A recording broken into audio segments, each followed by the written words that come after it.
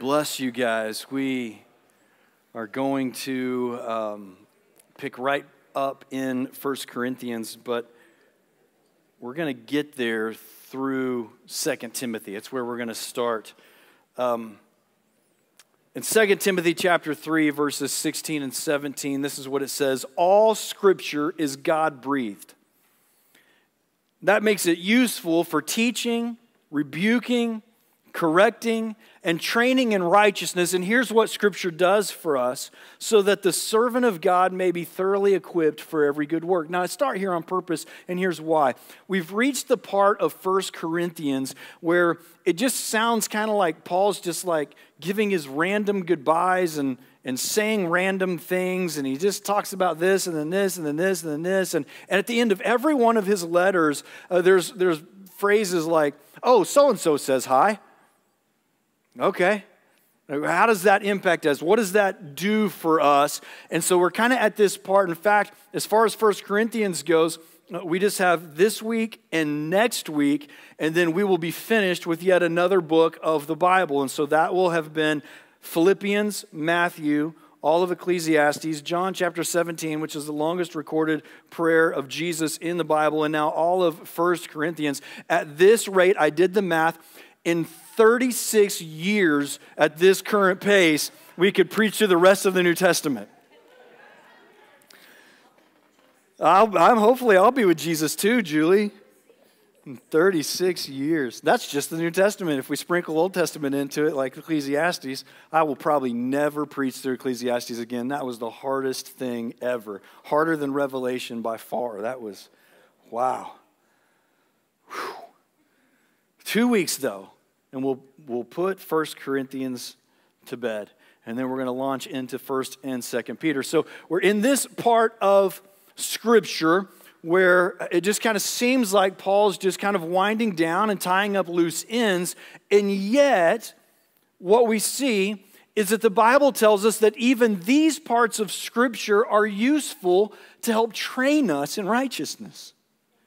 They're useful for us as we endeavor to position ourselves to be the absolute most useful that we can be in the body of Christ. And so I don't want to just rush over these things. I don't want us to miss anything that's being said. And so uh, we're going to read a couple of verses here in 1 Corinthians 16, but I think that they're pivotal for us. I think that Paul is modeling something that the Bible instructs us to do. And so that's the, the uh, route that we're going to go. That's the way, or the lens we're going to see everything through today. Stand with me if you would.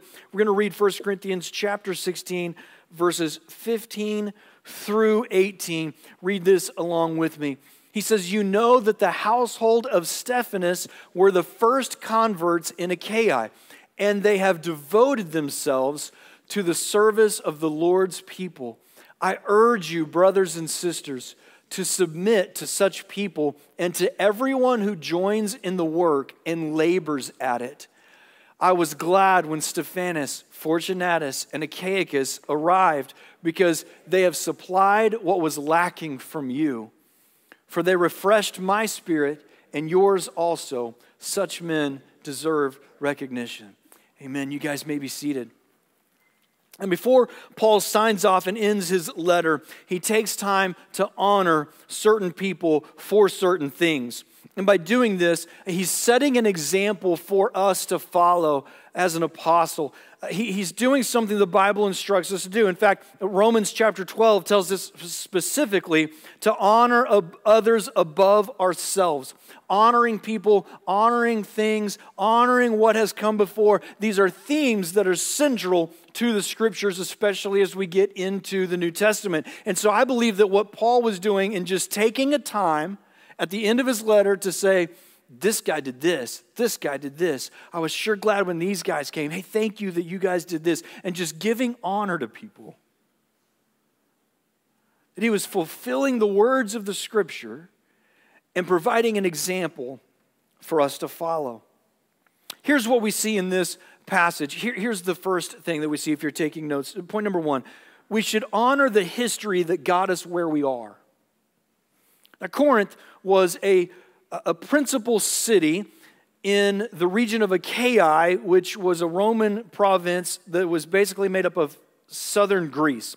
It was positioned ideally for commerce, for protection, and as such, uh, it was the city where uh, it housed the garrison of troops. It was a, a massive metropolitan area. 800,000 people lived in Corinth proper, and so it was this massive area. And as such, the city of Corinth would have provided for the needs of the entire region of Achaia. And what Paul says is that, you know, the church had to start somewhere in that region. So the church in Corinth, they would send people out to the entire region and minister the word of the Lord, minister the gospel, meet the needs of the people in the entire region. And that entire region was positively impacted because the church started somewhere. And where it happened to start was with the family of Stephanas. In verse 15, it says this You know that the household of Stephanas were the first converts in Achaia the entire region. And they have devoted themselves to the service of the Lord's people. The church, um, obviously, well, I mean, in that region, it started somewhere, right? It started with them. The church, if we look at a capital C, the church started with Jesus. So when Jesus showed up, started doing ministry on earth, that was the, the launching point of the corporate church. Jesus had hundreds of followers that would travel around with him. Twelve of them were the closest followers. They were called disciples. One of them betrayed Jesus and was replaced. Those uh, original 12 disciples, they, become, they became in history the first apostles and then there were other apostles that the Bible mentions, like Paul and Silas and Barnabas and Phoebe and Timothy, and, and there are others. And, and so the apostles were those who were leading other leaders as they established the church of Jesus Christ. So it starts with Jesus, and then we can read all throughout the life of Jesus when we can see the beginnings of the church through the book of Acts. Many of these apostles wrote letters to the early church. We can read many of those letters throughout the rest of the New Testament. This is all how the history of the church began. By the year 60 AD, a guy by the name of John Mark, who traveled with Paul, wrote down the first testament of Jesus' life. And it's because by this point in life, they knew we need a central document that we can circulate around to remind everyone of the life of Jesus and the ministry of Jesus because Jesus was the beginning of the church. Over the next 50 years, what we see is that there were other people. Matthew, who was a disciple of Jesus. Uh, we see John, who was a disciple of Jesus. We see Luke, who was a physician, also write testaments to the life of Jesus. These became the four gospels that we have in the Bible, and these are central because the church started with Jesus. And so we need to know about Jesus.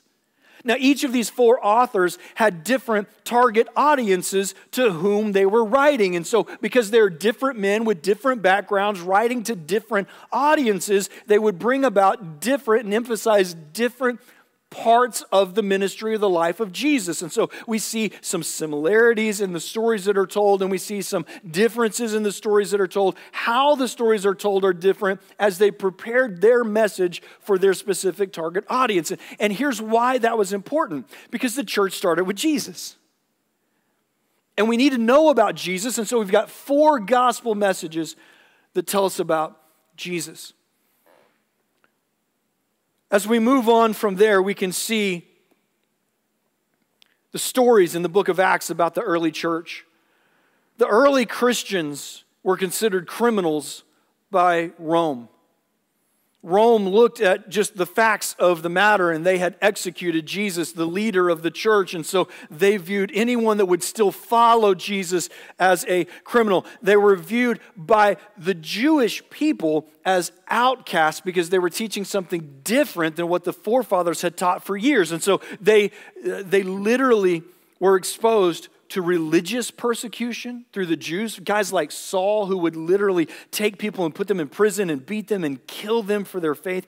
And they were in danger of uh, political persecution from the nation of Rome as outlaws. So they were persecuted, and as they were persecuted, what would happen is the different people would, would travel from place to place to escape persecution. And as they went from place to place, they would share the gospel message with people as they went. And it prevented the church fathers from getting together in a centralized location to kind of talk about, hey, how are we doing these things? And so they would rely on letters and, and people that were taking places, uh, letters to places back and forth.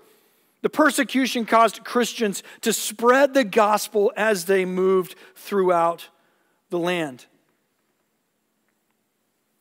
By 312 AD, a general in the Roman army had a vision about a Christian symbol.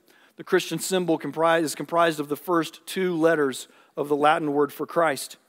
The vision that he had was unite under this banner. And so he had his troops paint the Christian symbol on their shields, and together they marched on Rome. The general's name was Constantine. Constantine became an emperor of Rome after he defeated it, and he allowed Christians to then worship free of persecution. This allowed the fathers to get together and iron out some of the differences that they had uh, developed in those uh, hundreds of years since the time of Jesus and the time that Christianity finally became legal. The first council that they had, which they had seven, the first council they had was the Council of Nicaea, in which uh, we get the Nicene Creed, which is still recited by some churches even today. The church leaders in this moment, the big debate was was Jesus God or was Jesus man? And they got together at this uh, Council of Nicaea and they weighed out all the evidence and they listened to all the arguments and they agreed that Jesus is God. And this has been the teaching of the church ever since.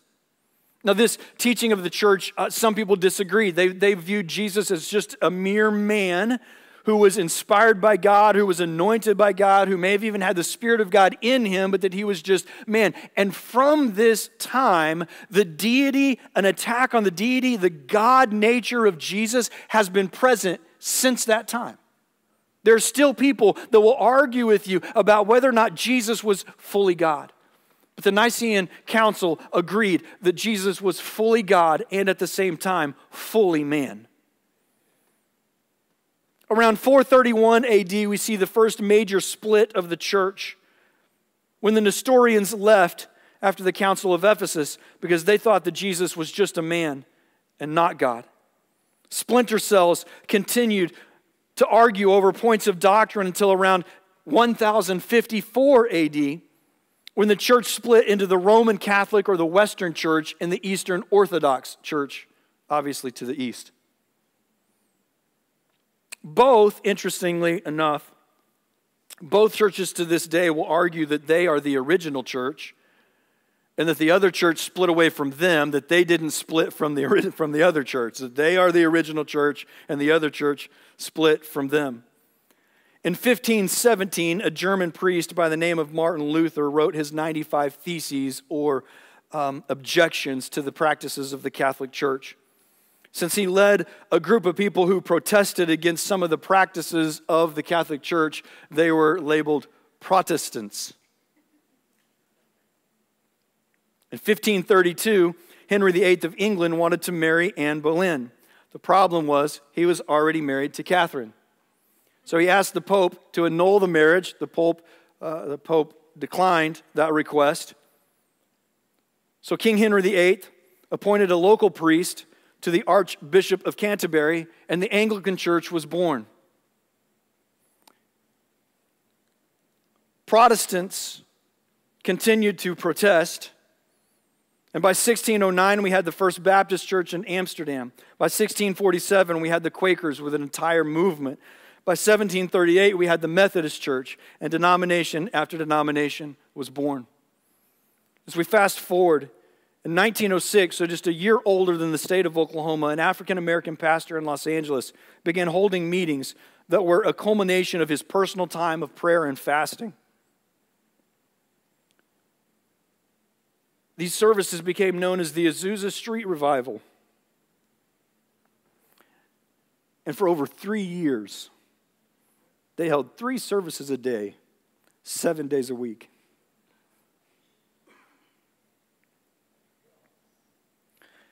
This revival was marked by three things a lack of racial tension as people from all races and backgrounds met together to worship the Lord, a focus on the Word of God as the supreme authority. They were less concerned about who taught what because someone taught what. What they wanted to know is what does the Bible say, and, and uh, predominantly about the Holy Spirit and his role within the church. See, to this point, the churches would teach you that the Holy Spirit's gifts died with the apostles or that they were not available to the people of the day. And, and they just wanted to know because Scripture says that we can be we can have access to Holy Spirit. Scripture tells us the Holy Spirit wants to do things in our life. The Scripture tells us that God is no respecter of persons, that He loves us just as much as He loves the early church fathers. And, and so there's a lot of Scripture. And so they, they had this sort of uh, prick in their heart to return back to the Word of the Lord as the supreme authority. The third marked characteristic of this was an outpouring of the Holy Spirit with spiritual gifts operating within the lives of the believers. So we've gone from Jesus to the Azusa Street revival in 1906.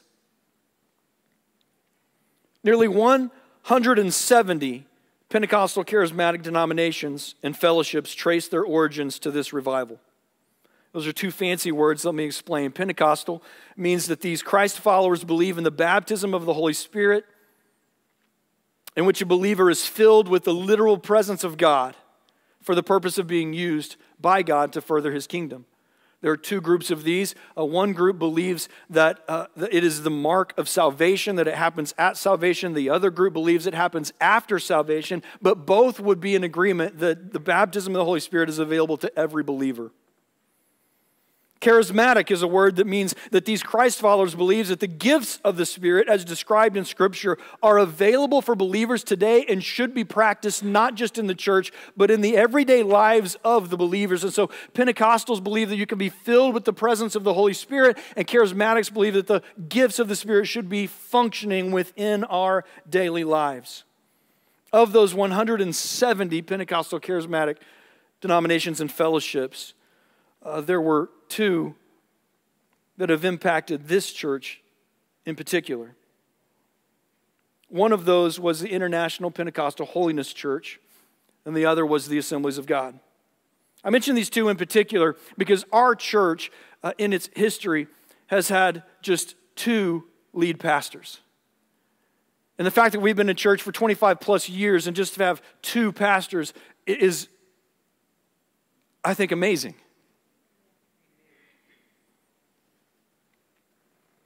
This church was, fa- was founded by Pastor Joel Downing. I wrote all this not knowing that he would be here today. Pastor Joel, would you stand? Can we honor you?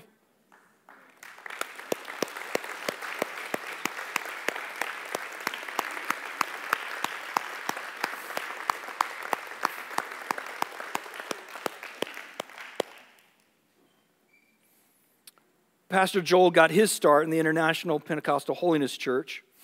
Our church has always been independent, uh, non denominational, but that's where he got his start in ministry.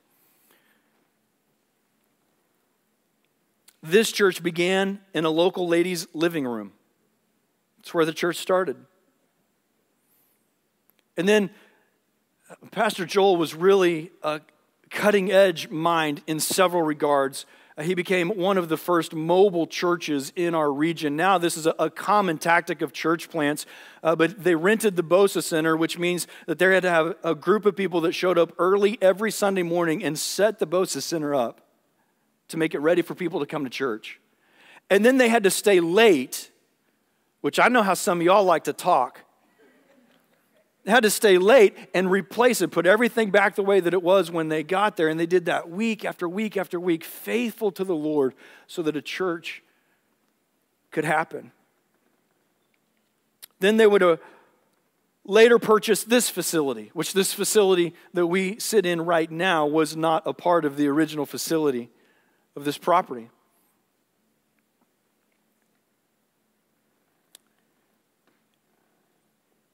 When you walk in the side doors over here by the nursery, you used to be walking into the sanctuary.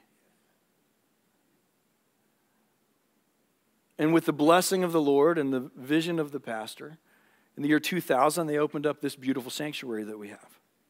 This is built as a gymnasium, which I think is cool. I want a basketball goal over here. In 2016, they opened up the Student Center, which is the building just uh, next to us. Um, these were all done through the vision of our pastor and the blessing of the Lord. Pastor Joel pastored here for over 20 years, in which this church planted literally hundreds of churches across the world. We have a TV in the back. If you've never stopped to look at it, um, there are flags from most of, I haven't updated that uh, since we've been here, but flags of most of the, of the countries in which churches have been planted from this church. Many of them bear the name Higher Ground Church or Crossroads Church, depending on the era in which we planted the church. Hundreds of churches across the world have been planted by this church. In those 20 plus years, they saw hundreds of people saved and their lives radically transformed by the gospel of Jesus Christ and the power of the Holy Spirit.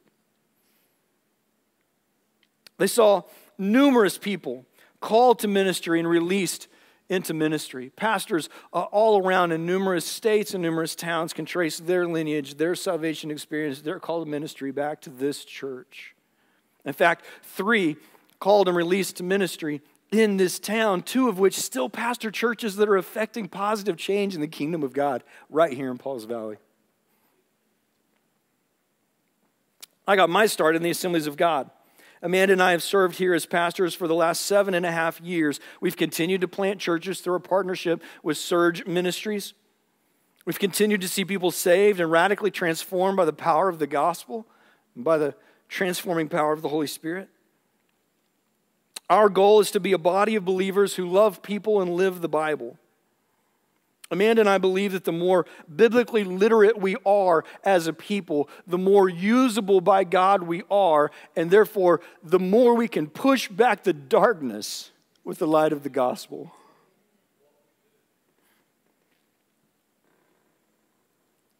The lives being changed right now would not be possible if there were not a long line of believers, Pastor Joel, all the way back to the original 12 disciples, who were unwilling to say yes to Jesus. Did you guys know that we have a story in Scripture that tells us that instead of the 12 disciples, it could have been the 13? There was a rich young ruler that approached Jesus and started a conversation with him. And Jesus made him the same offer that he made the 12 disciples Come, follow me. But that young man said no and walked away. But 12 of the 13 said yes. And that model of saying yes to the Lord was something that people from that time with Jesus, literally physically on the earth, up until now, have continued as we continue to say yes. And because there's been a lineage of people who continue to say yes to the Lord, people's lives are being changed and impacted with the gospel right now in Pauls Valley, America, at Crossroads Church. I think it's important for us to do what the Bible instructs us to do, to honor those who come before. We should honor the history that got us where we are, just like Paul stopped and said, it was the household of Stephanas where it all started. Honor these people. Here's the second thing that we learn we honor those who currently work for the cause of Christ. Paul took special care to mention a few people by name whether Paul realized it at the time or not, the Holy Spirit who was inspiring this moment knew that these men's names would be recorded in Scripture as an example for us for history. He says in verse 15 and 16, You know that the household of Stephanas were the first converts in Achaia, and they have devoted themselves to the service of the Lord's people.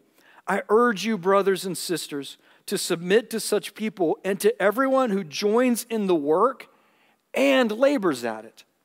I, I want us to note that separation. He says, Those who join in the work and labor at it. It's one thing to join in the work by saying yes and amen, it's another thing to join in the work and labor at it. And what he's saying is submit to those who join in the work and labor at it. They don't just join by saying, hey, go get them, Tiger. That's a great job. Really proud of you guys out there. They join in the work by saying yes and amen. And because yes and amen, I will do.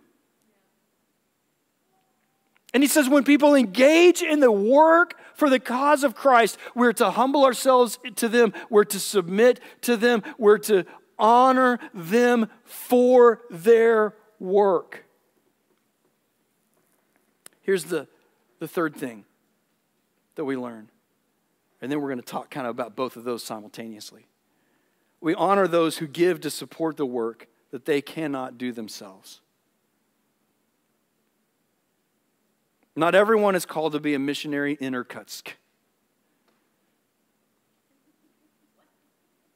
Irkutsk. It's a fictionary uh, country by the Ural Mountains in the game of Risk. You can pick the normal country or the fictionary country, whichever you like, of your choosing.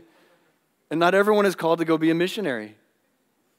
Not everyone is called to be a pastor. Not everyone is called to teach the Word of God. And in fact, the Bible says that we shouldn't even want that because these people are held to a higher standard when they stand in front of the throne of God. Not everyone has that calling on their lives, but everyone does have the calling on their lives to support the work of the ministry and to further the kingdom of God. And we do that primarily in two ways. First of all, our own personal experience that we have as we live lives that, that honor God. And secondly, through the way that we give resources and target resources for the expansion of the gospel and the kingdom of God. And he says that we need to honor those people. In three weeks, we will host Adult Teen Challenge from Lawton, Oklahoma you will have an opportunity to provide financial resources to people who are engaged in helping men overcome life controlling addictions. Now, you may not have that skill set, and you may not want that skill set. As a, as a therapist, uh, this is kind of comical uh, when you're in grad school, they always say, Who are you going to work with? What modality are you going to use? And they make you choose, right? And I would always say, I don't know, I, I won't work with kids. And that was my 97% of my caseload for majority of my counseling career. I won't work with kids, I would say. And um, I did. And then I would say, I don't want to work with drugs and alcohol. I have no desire to do that. I still to this day have no desire to do that. And yet, where did I find myself? So, I mean, you may be looking at this kind of a ministry going, hard pass. And that's fine because not everybody is called to this. Some are. And the way that we honor those, these are how these two things work in concert. The way that we honor those who are called and actively engaged in the work and the, of the ministry, the cause of Christ, how we honor those is by supporting them and making it able for them to do that. And there are certain ministries like this where it's a whole lot easier to write a check than it is to go get involved. And we're not supposed to feel bad for the fact that, hey, listen, all I did was cut a check. No, we honor those people who make the ministry work. And these two things, they work hand in hand. in October, I believe. Uh, we're going to be hosting a missionary to Africa. This is a friend of mine. Uh, he runs an organization that feeds kids. In fact, uh, kids are home from school right now, and, uh, and that means that they're not being fed by their school. We have the same problem here in America. um, but he's going to be here in October. You're going to have an opportunity to support someone that is doing the work overseas. You can do that right now. If you're like, I'll feed kids in Africa, come find me after church and I will explain to you how you can do that. I will connect you with these people. There are, there are hungry kids, right? Like, listen, you don't have to go to Africa, right? You don't have to drive to Lawton to find people who are addicted to life controlling substances. We have right here in our church, the Hedge House, a ministry in Wynnewood, America, where you can support them as they help. It's a, a, a sober living house, so as they're coming out of full time inpatient treatment, they have a place to go to help them transition back into the real world. You, you could, we have starving kids. We have homeless. Uh, our homeless population in Pauls Valley, our adolescent and child homeless population in Pauls Valley is high statistically. This is an issue. It's an issue right here in our town. And you don't have to go a long ways to help. You could say, Pastor Brock, I'd like to feed kids and we'll say, okay, and connect you with people who feed kids. We feed kids as a church. We take snacks to the library, and that's something we do from time to time. And we do that. Why? Because kids show up at the library and they're hungry. And they know that as long as they show up at the library, there's at least some peanut butter crackers, and that may be more than what they're getting at home. There are, uh, there are organizations that we uh, support locally where you can go work at this organization, like the food pantry in town. The numbers of people that they give food to on a regular basis are high. And they need people to go take the box of food and put it in somebody's trunk. They need somebody to help them organize and label so they know how to get the boxes of food put together. These are organizations that are right here local that we work with as a church where you don't have to you don't have to be, if, if I said write a check and you're like, well, I'm out on that, I can't do that. No, you can still give. It doesn't have to be writing a check. You can give to enable those who are called to do ministry the ability to do the ministry. It may be your time, it may be your resources, it may be your intelligence, it may be your physical strength, whatever it is, you can give. And here's what the Bible says we honor those who do the work, and we honor those who give to support the work that they can't do themselves. If you would say, Man, I would love to go help uh, feed people, but I don't know how to do that. Listen, you can't do that on your own. We have people. Let's connect you with the people. I would, I would love to go minister to kids in Africa, but I don't even, I mean, what do I just buy a plane ticket? No, you don't do that on your own. We have people, we connect you with people. We honor those who do the work, we honor those who give to the work. And that system of honoring is born out of the fact that we honor those who came before that are the reason that we're here doing the things that we can do. Listen to what he says in verses 17 and 18. I, want to mention two, three more things before I move on. You can give if you're like, eh, library's the library, they're publicly funded. Fine. You can give to Crossroads students you can give to Crossroads Kids. Like you can support real ministry to real children through your church. Now, this is over and above normal tithe, right? Because we, we fund these activities. But if you say, hey, I'd love for you to be able to do other things, additional things, and beyond what your budget is allowed, then you can give money above your tithe to these right here in our church. There's another thing that you can do. Uh, in the back is still a sign up sheet for our security team. And that's something simple that you can do while you're at church anyway. Giving of your time and your abilities to say, hey, I want to make sure that people feel safe when they come into the house of the Lord. And so these are, these are areas where you can serve, where you can give to make sure that people who are called to do the work are able to do the work. This is what he says in verses 17 and 18. I was glad when Stephanas, Fortunatus, and Achaicus arrived. Achaicus, what a name. He's from Achaia. Achaicus from Achaia. Be like naming your child Oklahoman from Oklahoma. He says, I was glad when they arrived because they supplied what was lacking from you. Here's what that's apostle speak for they brought me an offering. Thank you.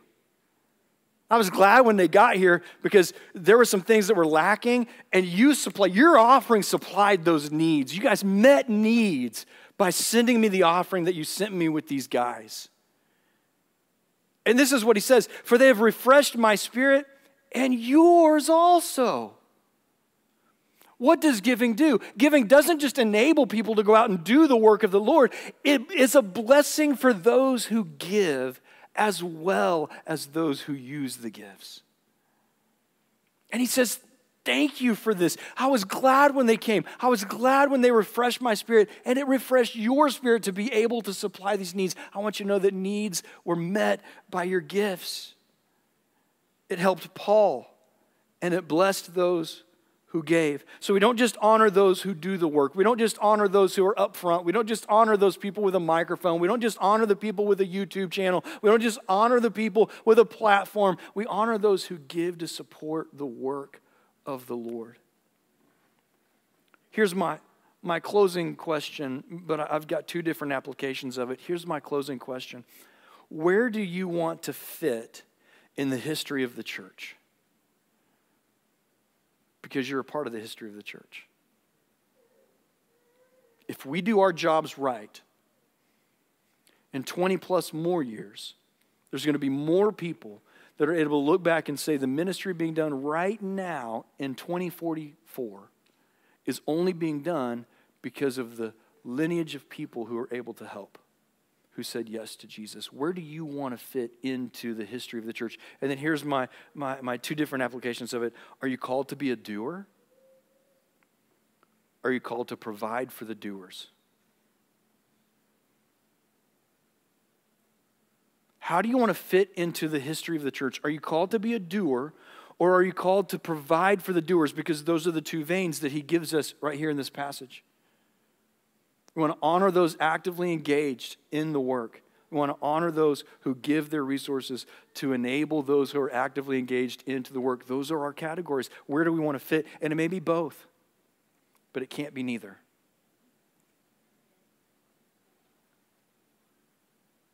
Well, Pastor, I don't have physical strength. I don't have a big checkbook.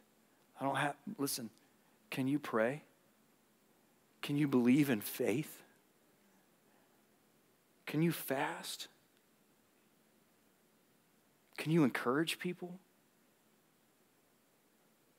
Can you work a text message? If not, can you write a card? Like you can give, you have value, you can add something to the kingdom of God you can do. And if you're called to do, let us know. We want to help you do the things that you're called to do. Sometimes that's releasing you into ministry. Sometimes that's connecting you with the people that you need connections with. Sometimes that's us saying, Man, praise God, we've been praying and asking the Lord to send someone to do that.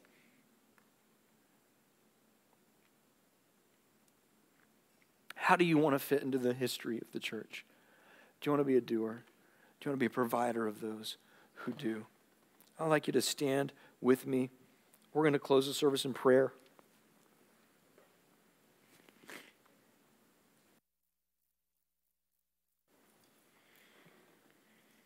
It takes those that are called to do and those that are called to provide. It takes both saying yes to continue the history of the church into the future of the church.